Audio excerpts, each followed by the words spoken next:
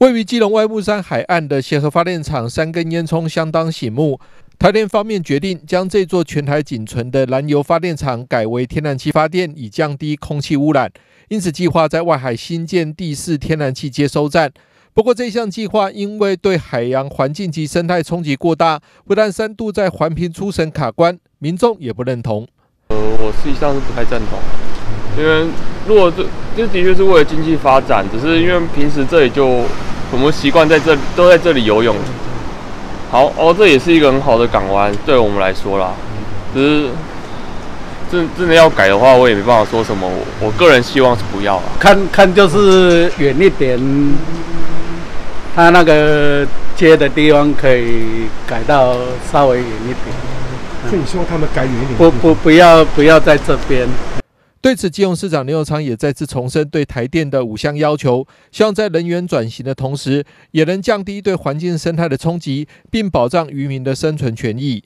我们基隆的协和发电厂过去是一个重油的发电厂啊，然后造成的污染也比较大。那现在要转型为呃这个天然气的发电厂啊，当然我们是乐观其成啊。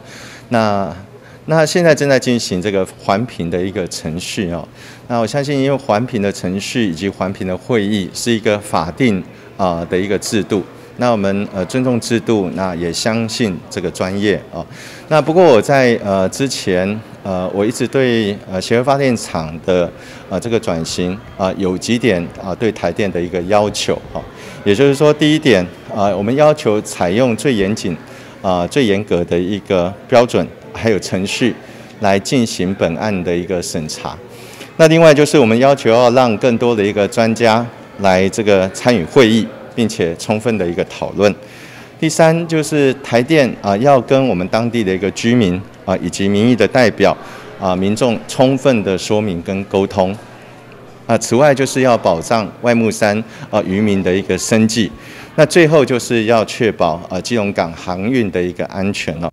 刘长呼吁台电方面应该努力，让各种意见都能充分表达、理性讨论、凝聚共识，做出合适的决定，以避免形成生态渔业及人员转型三输的局面。记者张启腾，金融报道。